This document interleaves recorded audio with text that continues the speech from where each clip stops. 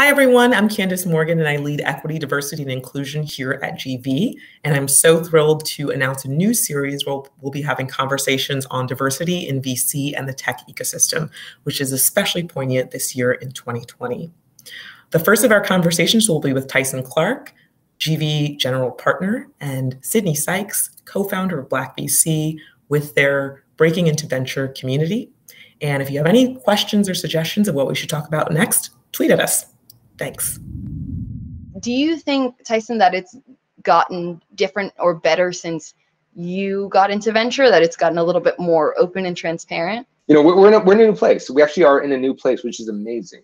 I think where um, it doesn't matter if you went to B school, first of all. That's that's a new paradigm. It used to be you had to go to Stanford or Wharton or HBS, and that was the only way in. And nowadays, it's just not like it's not like that. Uh, it truly is more of a meritocracy and also I think um, in the past kind of five years or maybe six years or seven years, but uh, it's more about kind of um, people who can actually add value day one, especially kind of the you know VP or principal level hiring.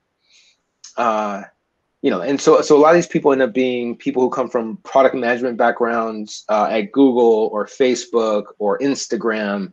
Um, a lot of these companies are kind of like you know sort of top tier up and coming companies. Um, you know where where where people cut their teeth building product. And that has in my humble opinion opened up the industry in a way that uh that you know that we haven't seen before. It's no longer just sort of this like ne- you know nepotistic i know someone uh you know i have a cousin who wants to be in venture capital. It's now more of i know someone who worked in data science you know at airbnb mm-hmm. uh, or you know this person was a product manager. Uh, and and you know and and um, it's twofold. I mean, so so one is that those those roles, PM and data science manager, uh, or data science you know expert, uh, tend to not be people of color. On the other side of that, at least it's not nepotistic, right? And so there's two ways to look at this, and if we can find the right people to sort of put in front of, uh, of, firms who are hiring, then we have an opportunity to really change things. So to answer your question really briefly, you know, I, I, I think it's open more than it was before, uh, but it's also you know it's also closed off in an interesting way to people of color uh, mm-hmm. in a way that wasn't before. And so navigating that path is is i think our job. I think people like you and i who are in the industry. You know I, I you got into vc directly out of undergrad which is very rare. You know i mean that is that's incredible that you did that. Um and the question is like what advice would you give them now? It's something i struggle with so much especially because of my privilege. So I understand that there are not a lot of jobs um, out of college for for investment analysts in venture. But I also understand the predicament that we just talked about, which is I would never want to recommend someone go do two years in investment banking, go do two years as a PM, do four years of you know your CS degree, and then go to a startup. To have them go through that six year process and say, you know, I'm ready to get into venture, and then they still can't get a job or totally. even worse than that, they spend six years on that process, get a job in venture, have a horrible experience, realize they never wanted to be a VC, and now you know they're they're eight years down the line trying to figure out what do What's I want to do and how do I do it. Yeah. Um, so it's something I really struggle with with the people I I mentor and the people who, who come to ask me for advice. Generally, what I say is if there's something you know you want to do, go as hard as possible after that and then change path later. So if you want to do venture, apply to as many venture jobs as possible, talk to as many VCs as possible before you say, okay, I'm going to follow the path that that was outlined online or that my mentors told me would, would get me to a venture job. I wonder if we should jump into some of the questions from the the BLCK VC uh, Breaking into Venture group. Let's do that. Yeah. So as way of context, so the Breaking into Venture group was the program uh, is a program focused on uh, taking a small cohort of talented Black aspiring investors who are young in their careers and helping them feel and become fully prepared for a venture interview and a venture job, um, as well as to make sure we can vouch for them and make those warm intros that we've been talking about all along. So we got a couple great questions, um, one of which was from from Kai, and Kai asked, what role do colleges and universities play in remedying the issue of lack of diversity in venture capital? There's this notion that uh, VCs come from Harvard, Stanford, Wharton, and then maybe like five other schools, right? So, um, so so you know, I, I, I actually wouldn't put in the colleges. I think colleges would love to see their alumni end up in venture. Uh, it's up to us as people in the industry to make sure that we're searching those networks, right? Like, am I going to, um, you know, UC Santa Cruz or, you know, UC Santa Barbara or whatever, uh, or Chattanooga State? Am I going to those places or not? Or you know, or even the, um, I mean, super easy for us, and what what Google has done in a, an amazing way is sort of look for tech talent at HBCUs. You know, so so like, so why aren't we doing that as a venture capital um, you know, industry. Uh, I think there, there is a key lack of coordination across industries, uh, across sorry firms within the industry. Um, you know, such that uh, we just we just don't have the same kind of um, coordination uh, that I think you know investment banks had, or that law firms had, or that accounting firms had, in courting people of color, and especially HBCUs.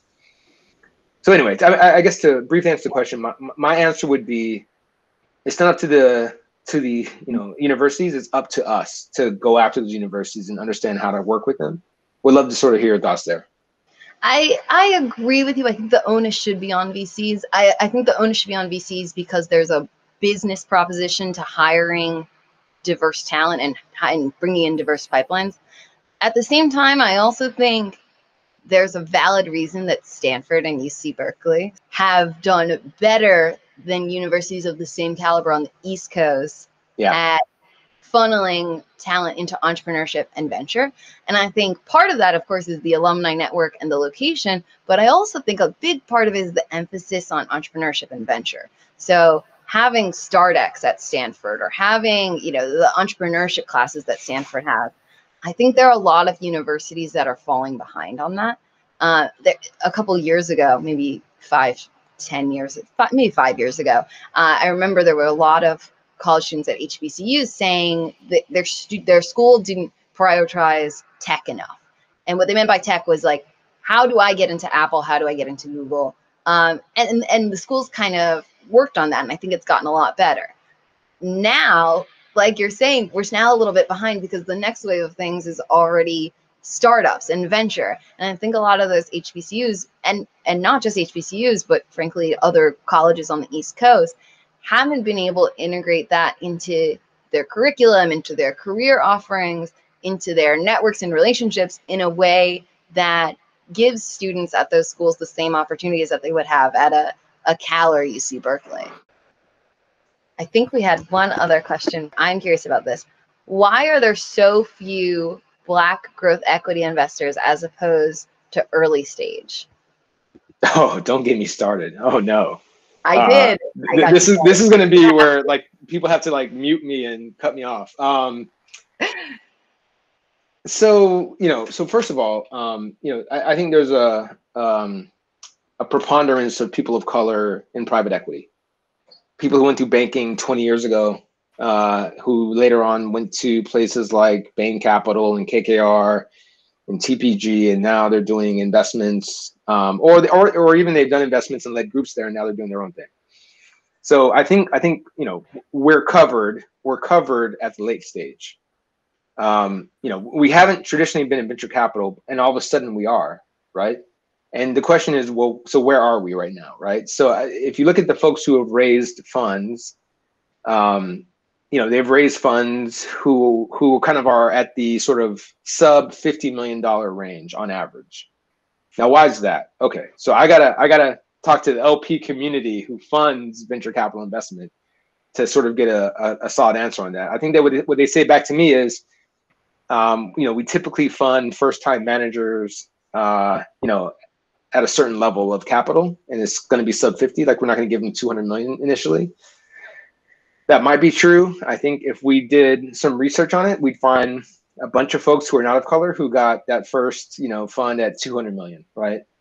Um, and so the bottom line is, you know, I think people of color we're breaking into the industry, and that means that, you know, as we raise some LPs, they're going to put us in a certain box. It's certainly up to us to make sure that every seed fund, uh, you know, who's managed by a person of color succeeds. And and so you know this wasn't the question, but the sort of like tangential point here, and this is what I always talk about. You know, we need people of color investing at the Series A and B and C, not just in growth equity, not at the seed. There, there's a gap here where we don't have people of color who are willing to look at, you know, if you believe people of color will invest in companies led by people of color, where the opportunities aren't obvious to sort of like the mainstream, you know, Maven or whatever, uh, then then we need people in the middle who will actually follow on and make sure that Series C gets an A or that A gets a B and that B gets a C. The worst thing we can imagine, uh, and that I worry about all the time, is you know you've had this you've had this ecosystem of Series C investors whose companies don't get funded at the A, and then LPs just sit back and say, oh, well, we tried this diversity thing, it didn't work. Uh, you know, we'll move on now. Uh, so, you know, I, I um, I, I, I mean, I, it, as as I talk about kind of, you know, I, I, chat with a bunch of folks who are thinking about raising a new fund, and I'm always like, it would be interesting to raise something more on the $200 million side where you're writing $10 million checks. You can fund a series A or B. You can make sure that some of these companies that should survive do survive. Uh, and also make sure that some of these seed stage investing funds, you know, are getting the credit that they that they deserve for their investments. So anyway, it's something I think about a lot, and not an easy answer to the question. I'm curious what you think there's so many layers to this issue. When totally. you talk about the lack of black entrepreneurs, you're talking about you're, okay, you're talking about the lack of black CEOs, then you're talking about the lack of black entrepreneurs. If you're talking about the lack of black entrepreneurs, you're talking about the lack of funding at the earliest stages. If you're talking about the lack of funding at the earliest stages, you're talking about the lack of early stage black VCs. If you're then also talking about why don't the existing early stage companies get funded, then you're talking about the later stage VCs. It's also tied together. And then we still haven't even touched on the idea of the lack of black limited partners. Yep. Um, and even though we're attacking it at different angles, we're still only touching one layer of a, you know, maybe five layered problem. So, totally. I mean, I mean, because you can imagine a scenario where I'm investing, you know, I'm, I'm, sort of like going on the on the ledge or on the limb to invest in a Series A or B, um, and there's just not a series C or D investor who would pick it up in 18 months, you know, who would sort of invest after me. And, uh, you know, and, and by the way, like I think quietly, we don't sort of talk about this out loud in our partnerships, but we're all thinking about, you know, who's to, who's to, who's to invest after us in this company. Um, you know, it's, it's cute to say, oh, we invest in businesses and we don't care about the next round. But the truth is, you know, we're always thinking about who's coming in after us.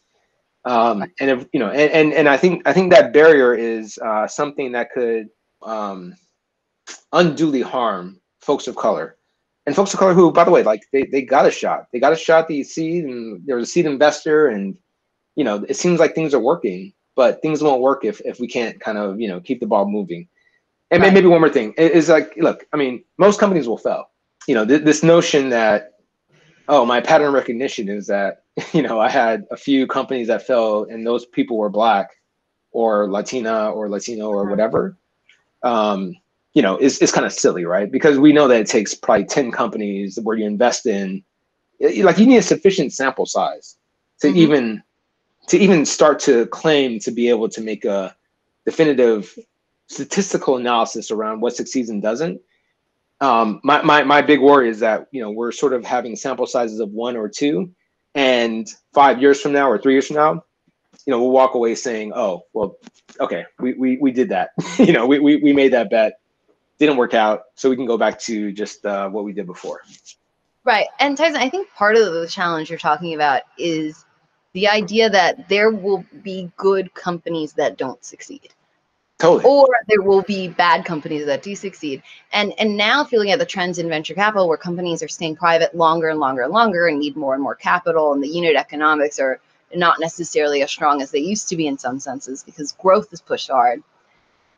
Would a company or any of these companies have been able to stay private as long as they could if there wasn't an investor down the line, you know, the next um, stage above above them that believed in them if, if they didn't look the same as them, if they didn't have the same background. Now, I'm not trying to demean any of these entrepreneurs.